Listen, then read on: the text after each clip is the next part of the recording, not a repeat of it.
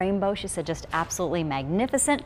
And of course, lots of sunshine. I captured this from our uh, water, our koi pond out there.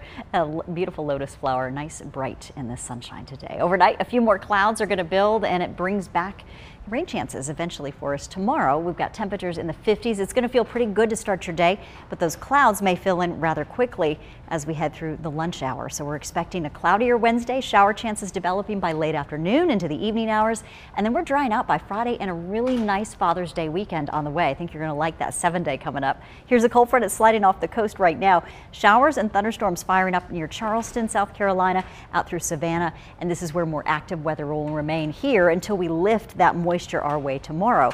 Now, so far we're the eighth wettest year on record. 25.23 inches with the rounds of rain we had last week into early Sunday.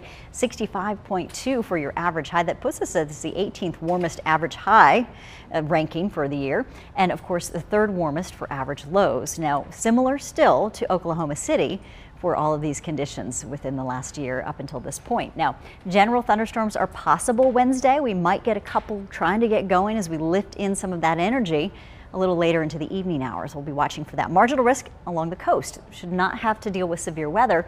Risk for light rainfall, moderate showers and heavy rain. There's a moderate risk for that, but low end of the spectrum for the thunderstorms right now. We could get that going a little later on your Wednesday evening. Most of your day is simply cloudy, and then we start to tap into some of those showers late afternoon. 71 degrees in Winston-Salem out through Forest Oaks and Liberty. You see 50% chance of afternoon showers, 70% chance of evening rain, 72 degrees in Mount Airy and areas like Elkin. You're going to have a rain chance of 50%, then ramping that up that once we get into the dinner hour and continued overnight into early Thursday morning. So a very active pattern here for us developing with the clouds that'll all fill in with some beach moisture and then we lift that coastal low too. 67 degrees in the mountains with rain chances coming up to 60% a little later as well. Now, really trying to time that development of that cool Carolina wedge will help determine how warm we are. If we have a little bit more sunshine in the morning, it could help to keep us a little bit warmer or cooler if we get more clouds. Also, visibility will drop off. Once we get the rain in place, we'll also have some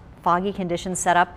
Areas may be dense in spots, especially in the mountains where the winds can be lighter. And we're looking at that imagery right now. Just beautiful Carolina, gorgeous conditions right now. As the ridge of high pressure is in place for another 12 to 18 hours. We'll take it. We look ahead though through your Thursday. Shower chances start to lift north after we get a few of those thunderstorms overnight into Thursday morning.